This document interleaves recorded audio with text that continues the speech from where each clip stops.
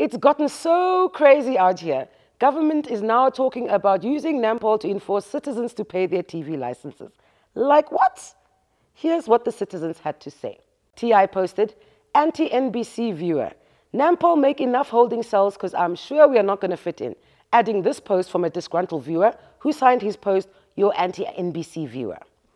He wrote, we are in a democratic country, so don't you impose your things on people, but you give them choices. One thing again, not everyone watches NBC, so if you are drowning in debts, it's not our problem. Don't make your problems our problem. Kwa kwa. Malia posted, now you're talking, man. If they, NBC, want to make money, they can go beg DSTV MultiChoice so that they can be partners or sell their business to MultiChoice. Kwa, kwa, kwa. And Lizelle posted, I agree 100% with the letter. I pay my license, but have not once for the past eight years watched NBC. Don't even know what type of content they play. That $204 I can give instead to someone in need. Nico Smit also had an opinion to share on this. Unfortunately, the Act says that uh, the, the NBC do have the right, the NBC Act, uh, that, uh, that they can uh, collect this money, uh, actually force people uh, to pay it. Now, to me, it's, it's very strange. How did that, that clause pass Parliament? How could Parliament at that time, when that, that act was passed, how could they have done it? Because only the mere fact that I have a, a TV uh, forces me now, according to the Act, to pay license. Now, we have uh, different uh, uh, setups here in Namibia. We have uh, uh, MultiChoice, where many people, you know, are subscribed to.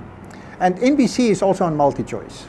So you already pay through MultiChoice, you pay for NBC. Now, why do we have to pay again NBC? And how many of us actually watch NBC? I think very few people, very, very few people. Because honestly speaking, I don't think they are up to standard. Really, they don't up to standard. The programs that they are screening is just not acceptable. It's a, a government, or more specific, a SWAPO mouthpiece, you know? And I'm sick and tired to listen to that propaganda. Uh, I think we are, we are not up to standard. And I think it's, it's unfair to expect from people to, to, to, to, to pay two times. If I subscribe to, to MultiChoice, then it's up to NBC to go to MultiChoice and get their cut of what, what each of us are paying.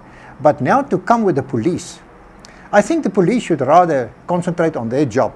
They are there for crime prevention. Look at the crime, you know, in this country. It's totally out of control. Where is our police? Now they must go from house to house to check your, your TV license. That's ridiculous. Uh, really, uh, to, to, to use the police, NAMPOL, to do this, I think it's not their job, not at all. And I think this, this clause in the Act should be amended as soon as possible because you can't pay two times for the same service. That, that is not fair. This week on Cecilia Says.